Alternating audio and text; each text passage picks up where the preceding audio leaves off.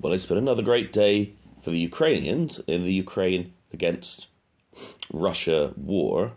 Uh, we won't go into all the details on the land, but Mariupol still holds, despite the anticipated Russian regrouping and attack. Although it does seem it may have been split in two now.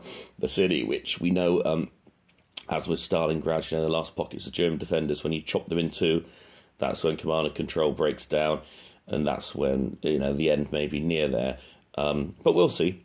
Um, but the reason why I say it's been a great day is they have actually sunk the flagship of the Black Sea Fleet, the Moskva, the Moscow, with two uh, Neptune missiles. Now, Moscow is an old ship, but it's a pretty large one. Uh, displaces something like, ooh, I forget the tonnage of it now.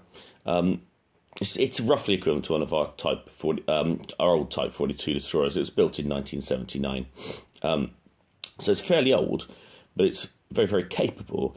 Um, it's mainly uh, well, it it does all the things that you know one of our old destroyers would have done, like the ones took to the Falklands. So it has anti-ship missiles. Um, it has air defense missiles. Uh, but it also has the capability to launch nuclear missiles, which obviously our, our 42s didn't because we weren't doing that then from those. Um, although he did have nukes on other ships. Um, how did this happen? Um, my feeling is actually from looking at the ship, um, I don't think it has much close in defence against um, against sea skimming missiles. That's that's onto I think. Um, I mean, nowadays the way we build modern ships is you have things like the phalanx system, uh, these sort of auto cannons that have incredibly high rate of fire and will literally, if something really comes close in, um, they can rake it with fire. But from distance, you can take out missiles as well with other missiles. Um, in terms of air defence, the Moscow has an S three hundred system, which is just one of the the Russian. It's kind of like you know one of one of their um, main sort of high altitude aeroplane anti anti aircraft missile systems. Um, so yeah, it can take out a jet fighter that's flying above you. It's not going to hit a skimming missile. Um, I don't know if it would even see one. I'm only going by looking at it, um, but from the specifications, yeah, there doesn't seem to be any of these these close-in weapon systems to defend it. Um, this is one of the problems that we had in the Falklands that because it was really the first time that kind of combat had been fought with Exocets coming in low, skimming the sea, um, uh, aeroplanes coming in very, very low, dropping bombs. Um, you know, we literally were strapping um, assault rifles and machine guns of various sorts onto the rails of the ship. Um, there was the odd Bofors type gun. I don't know if it was actually a Bofors, but it looked like a World War II Bofors. And there's a famous video of this young lad, um, very, very young, who actually takes out a jet fighter with this perfect hit just by deflection shooting as it's, um, you know, going around uh, San Carlos Bay. You know, remarkable. But um, after that, that's when we started putting in, you know, well, I guess everybody building new ships. It really changed um, this need for close-in weapon system because we never seen how effective the sea skimming missiles were.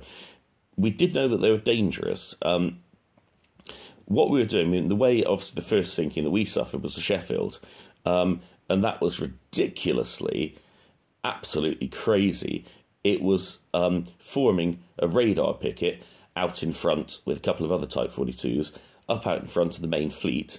Ridiculously, it was transmitting to London, updating when it was on picket duty. I mean, this is just crazy. It's typical British dumbness, you know, at times in war. Um, so its radar was out of action. So I had no idea that two, um, uh, I presume they were Skyhawks, carrying Exocets were even coming in. It could have, prob- I don't know if they'd been out of range of uh, the Sea Darts or not, but um, it could have certainly taken evasive action if it had seen them. Um, and what they would do, because they didn't have the ability to shoot down a sea skimming missile, but the Type 21 frigates did with their Seacat system. And so, um, because again, the Sea Dart, like this um, you know S300 system, is for taking out um, aeroplanes higher up in the air. Um, whereas the Sea Cat is for taking out missiles and things that are much closer in, and it can take out a faster moving target and so on. And the idea was they, they would pair them up, and they were in a pair. Um, but the problem was that it was turning at the time, and so um, the view, I forget which um, Type uh, 21 frigate it was, but it knew the missile was coming, but it couldn't get a shot off at it because its view was blocked. and It was so low down, obviously it skims the sea, it was so low down that it, it saw it coming, but it couldn't get a shot off because it was blocked by the Sheffield. Um, and then, of course, with the Sheffield, I don't even believe that the warhead exploded. At least that's what I read. I'm told that it just the missile en- engine was so hot on it that rocket engine that when it ploughed into the ship, um, obviously started fires. There'd be rivers of aluminium and things flowing around. Um, um, actually, it cut through the main firefighting. Um, or, you know, dam- what, what, do you call it? Sort of damage containment, I suppose, is the, the correct term. Uh, equipment, and so they were really struggling to contain the fire. At the moment that they knew that this fire is out of control, they knew it could reach um, the Sea Dart missile um, silos, and that's when there would have been a massive magazine detonation potentially. And so that's when they abandoned ship quite correctly. Um, it would seem, yeah, with this um, Russian ship, it didn't appear to have, yeah, any sort of defense like that. Um, was it paired up with uh, any sort of um, ship that can take out a missile? Uh, I don't know. Um, we know with other Exocet attacks, the one that um, the one that we're going back to the Falklands now, the one that sunk Atlantic Conveyor, uh, that was actually heading for HMS Glasgow, uh, another Type 42 destroyer. Um, it wasn't able to be taken out with any sort of missile, but what they did do was fire chaff at it, and they managed to, you know, blur its radar enough so it didn't know where the ship was.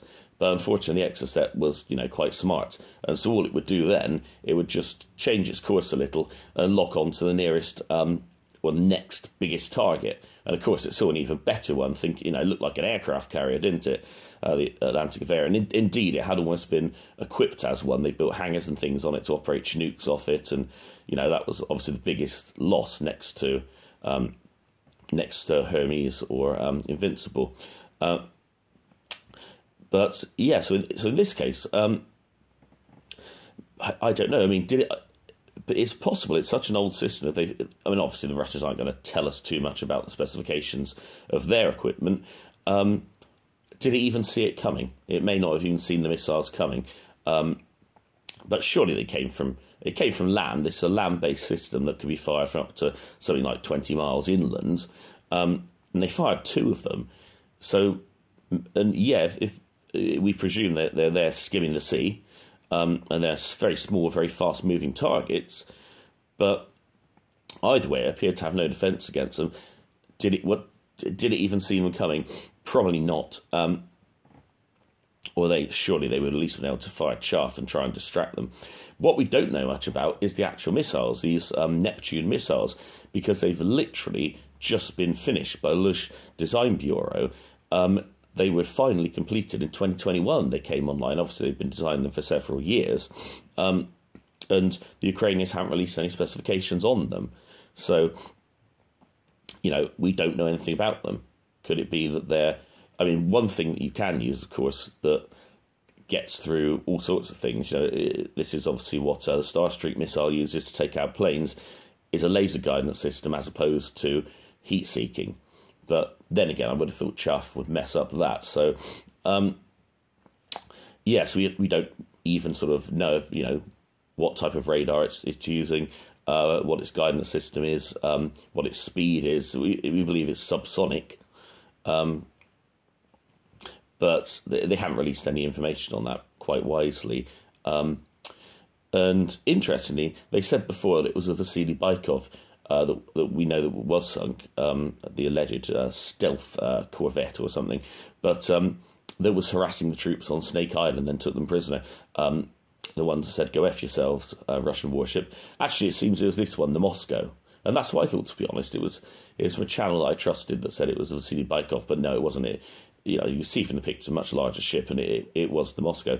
So, um, yeah, the Ukrainians have left them back, haven't they? Um, obviously, the Russians uh, haven't admitted they've they've admitted it's been evacuated, and it seems they've um, people close uh, to those in the know have said it has finally sunk now. Um, Uh, but uh, they're trying to say that the cause is being investigated. Maybe it was a spontaneous ammunition um, explosion, a magazine explosion, or you know, a fire. You know, maybe someone was smoking uh, too near one of the, the missile silos. Um, they didn't say that, but you know that's the implication. So they've not admitted it was the Ukrainians, but I think it's pretty clear it was. So um, you know, this is a big blow to lose your flagship like that. I mean, obviously, they, uh, it, they haven't said there was any loss of life, um, which is surprising. Uh, well, it's surprising if there wasn't, is what I mean. Um, because it was hit by two of these missiles, 150 kilogram warheads each. Um, so uh, it would be surprising if there was no loss of life, but I don't know if the Russians would release that anyway if there was. Um, so anyway, waffled on long enough. Um, yeah, quite a big day to sink the flagship of your enemy.